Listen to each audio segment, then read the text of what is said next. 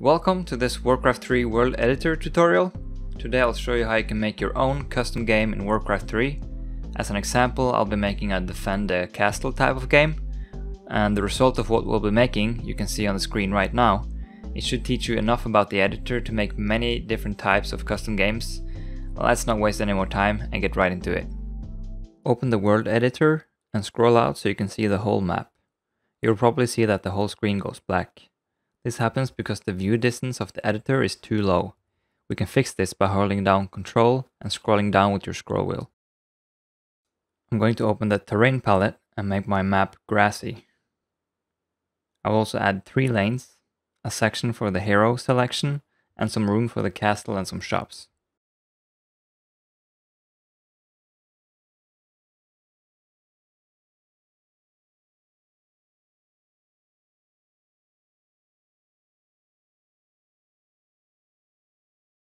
The next step is to add some regions with the region palette.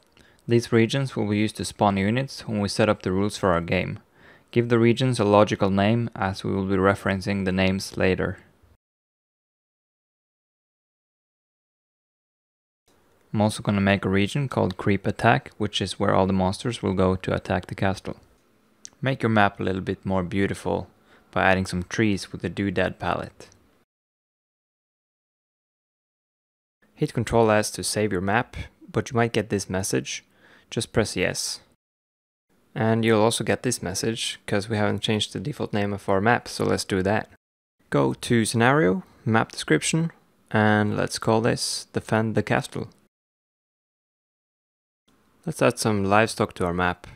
Open the Neutral Passive team, and you can choose a pig, for example. Place them out, choose a rabbit, choose a sheep, place them out. And if you want, you can rotate them by marking them, holding down control, and then using your left mouse button to rotate them. But they will just wander around anyway, so it doesn't really matter which way you place them. Let's dive into triggers. These are basically the rules of your map. We already have a pre-made trigger called the melee initialization, but we don't want it because it gives us a normal game mode with the base building and stuff, so just delete it. Press the new trigger button to create a new trigger and we will create our own initialization trigger. A trigger consists of three parts. The events are the events that happen in the game which will trigger the trigger. The conditions are conditions that must be met for the actions to take place. And the actions are what the trigger will do when it gets activated. Right click events, choose new event, and then choose map initialization. By choosing that, this trigger will be activated when the map loads. Let's set up some new actions for our map. Press G to go to the first action that starts with that letter, then choose the set time of day and accept the default value which is noon. Then press G again and find the turn day slash night cycle on off and accept the default value. This will make sure our game is always set to daytime. When you save your game now, you'll get this message and that's totally fine, that's what we want. We often end up with a lot of triggers, so sorting them into categories can be smart. Create a new category and call it unit spawn. We're now going to create the trigger that's going to spawn the attacking units. For the sake of testing, we'll make them spawn after 5 seconds of game time. We then create the spawning action. Look for unit dash create units facing angle. This action will let you spawn a specific number of units, choose which unit type to spawn, what team it belongs to, where to spawn it, and which angle it will face. Let's only choose where it spawns for now. Copy paste the action two times and change the spawn position so we have one spawn action for each region. Just to make it a little bit more interesting, change the spawning units in two of the actions. If we started the map now, the units would just be standing there. We need to tell them where to go. Add another action and find the unit group issue order targeting a point. Then choose what region to move the units from, make them attack move to, that means that they will attack all the hostile units in their way, and lastly choose the region you want them to move to. Drag the action below the unit creation actions. We need to do this because the actions gets executed from top to bottom. If we had the move action at the top, the units would not have been created yet and the game would not know what to move. Copy paste the action three times and change the regions. Also remember to change the destination region to the creep attack region. Now for the fun part, let's test our map. To do that, just click this red button up here. Now let's see if anything happens up here. Oh, look at that guys. Nice. Our next step would be to set up the players and the teams. To do this, go to Scenario and then Player Properties. As you see, all the players except player 1 is grayed out. If we try to host our game now, we would only have one player spot. Let's add four more player spots. Let's also add a computer controlled player that's going to be on our team, and a player which the enemy units will belong to. Next up, we must set up the teams. Click the Forces tab, then check the Use Custom Forces box. Then click the Add Force button and rename the teams to something more fitting. Then check all the boxes under Allied, Allied Victory and Share Vision. Also check the Fixed Player Settings. This box makes the teams fixed so no one can join the wrong team. Here's an example with fixed player settings off, and here's an example with fixed player settings on. To finish the team setup, move player 12 down to the enemy team. When you try to save the game now, you'll need to accept to have the new players' starting positions auto-generated. They will get spread out over the map, just gather them in the middle so the map doesn't get so cluttered. The next chapter in our journey is to make the hero selection system. We want to give each player a wisp to pick their hero with, and 5 heroes to choose from. We could go into the unit palette and find the wisp, but that would give the players a wisp with all the abilities that a normal wisp has. So I'll delete these wisps and create a custom wisp with no abilities.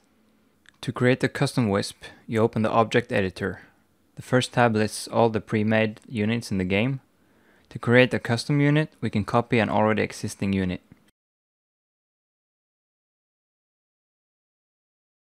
If you see this message, just click OK.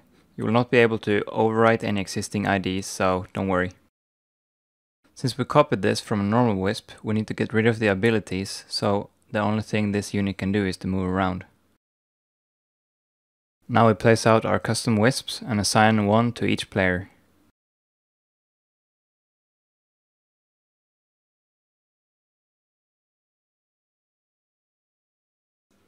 We'll use the Circle of Power to be our Hero Picker portal. You'll find them in the unit palette.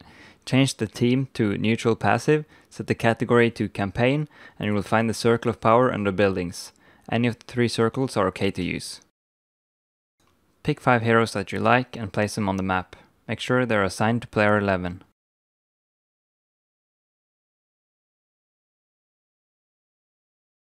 Add 5 regions, one for each hero portal. Give them reasonable names. Also, add a region where you want the heroes to spawn when they're picked.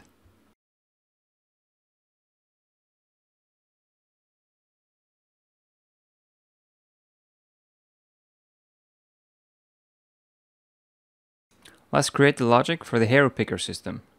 Create a new category for the new triggers we'll create. We will make one trigger for each portal. The first one will be the template for the other four. For the event, we will set it to unit, unit enters region, and choose the region for the topmost hero. For the actions, we will choose unit, create units facing angle. The options here gets a little bit more advanced. For the player, we will choose owner of unit, then change it from triggering unit to event response entering unit. Then change the spawn location to the hero spawn region we created earlier.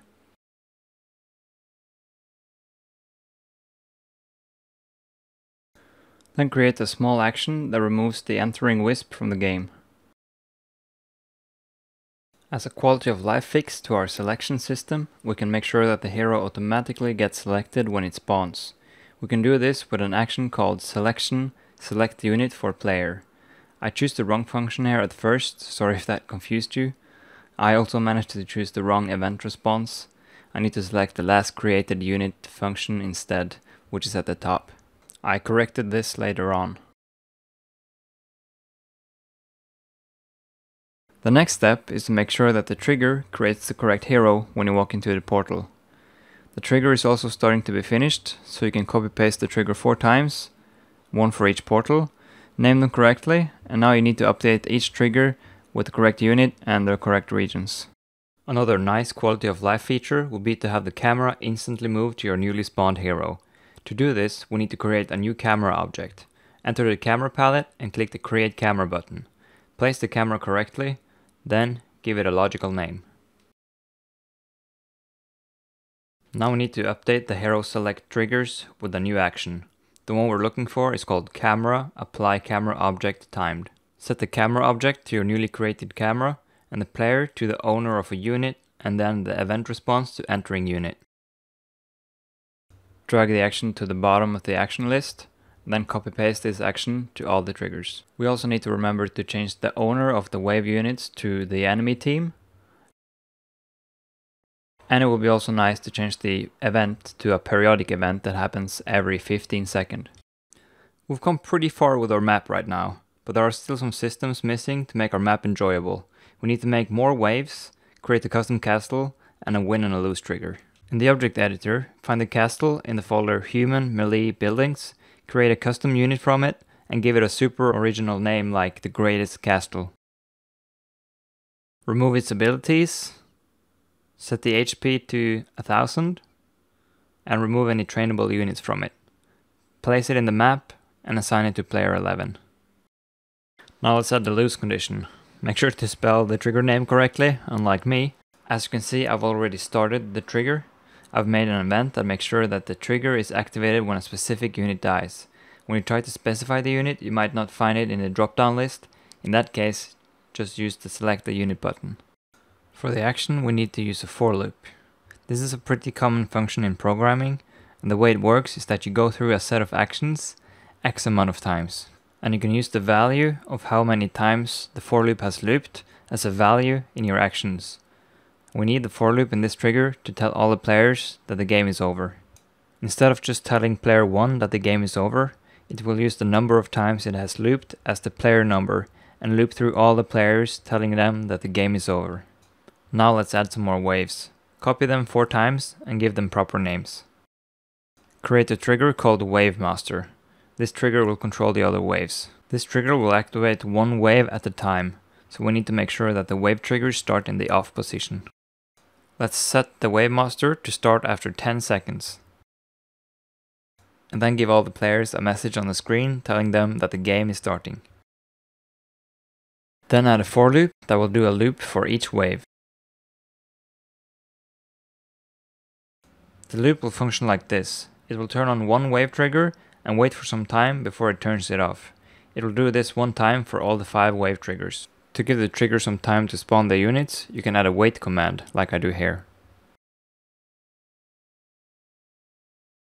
It would also be nice to make the loop wait until all the units from the previous wave are killed, before spawning more units. You can do this with a wait for condition action. Add a boolean comparison condition and check if all the players of player 12 are dead.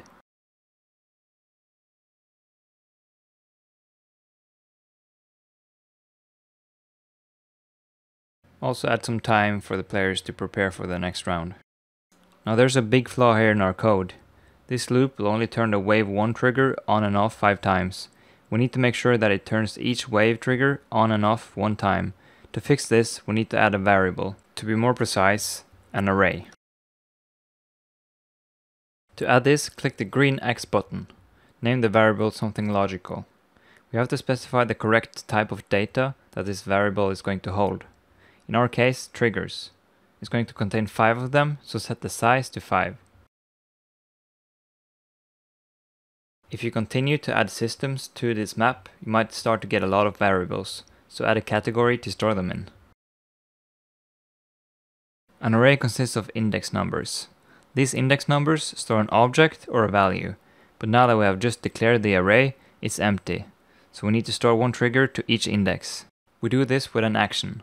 Choose the set variable action and make one for each trigger.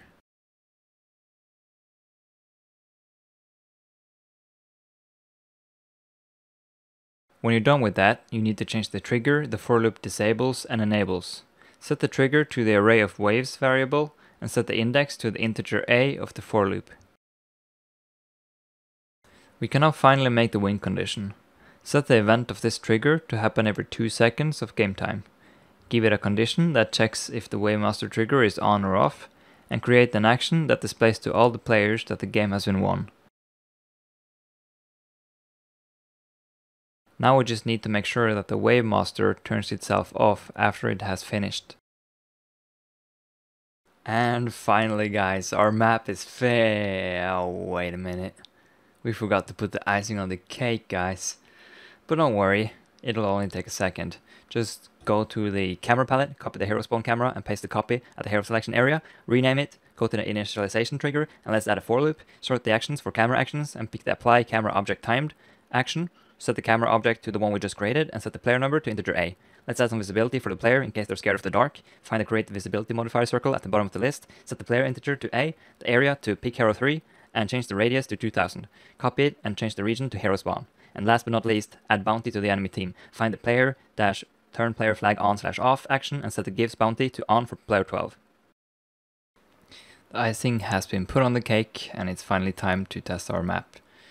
So we have a framework of a castle defense game and this was just a tutorial for you to understand how you can build your own game and out of this framework that we've built here for a game uh, there is a lot of room for improvements but you don't need to do a lot to make it you know pretty fun.